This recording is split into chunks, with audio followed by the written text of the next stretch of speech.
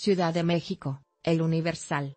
Guión el coordinador del grupo parlamentario de Morena en el Senado, Ricardo Monreal sostuvo su postura de eliminar las comisiones bancarias.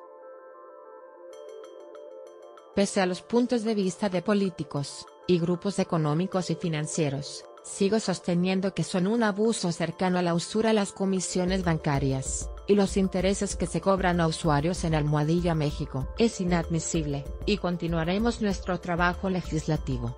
Ricardo Monreala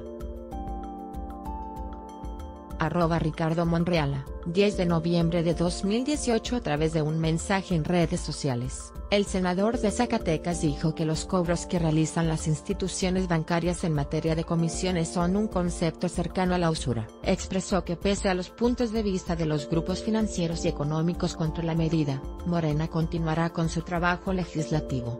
Solo estamos trabajando para conseguir un trato justo para la población, manifestó el senador.